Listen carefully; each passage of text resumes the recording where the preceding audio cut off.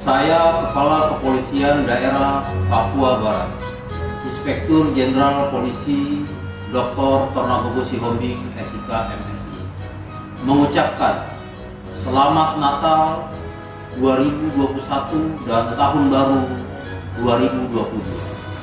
Semoga kita semua dipenuhi kehangatan, kedamaian, dan kasih Natal serta selalu diberkati dalam setiap langkah kehidupan kita di tahun 2022 mendatang. Dengan cinta kasih Kristus yang menggerakkan persaudaraan di Provinsi Papua Barat.